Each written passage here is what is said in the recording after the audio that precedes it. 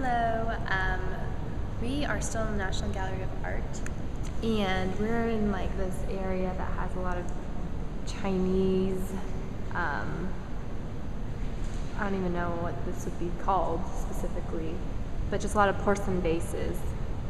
And I think they're really pretty. There's some back there from the Qing Dynasty. For example, this is from the Kangxi reign. I'm probably saying that completely wrong, but I think that's pretty cool. And then these are some vases as well.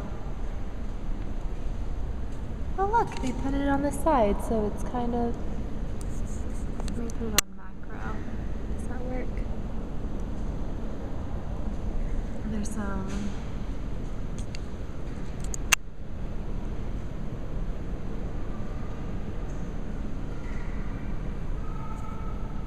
Kangxi Dynasty. Yep, Qing Dynasty right here, 19th century.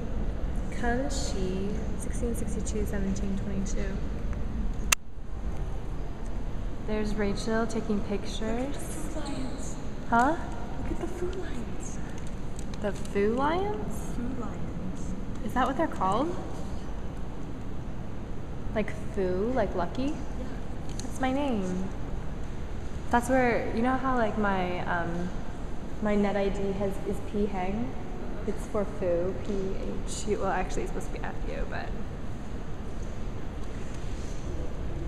these are cool.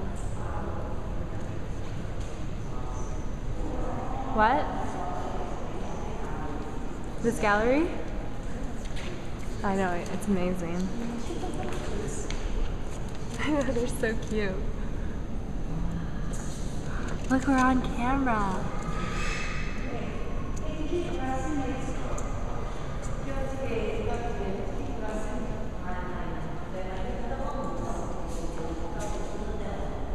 How big and tall this is.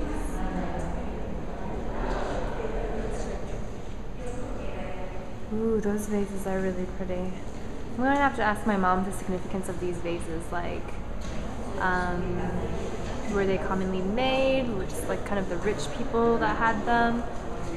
I will ask my mama. Kangxi Reign.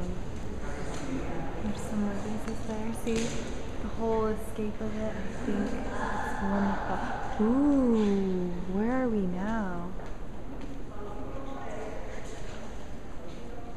I just love how it can be like this lighting. Look how dark it is in here, and then light, and then dark. Interesting. Oh, I love these crests. The lion. I wonder um, what era this is in and what exhibition this is. Okay.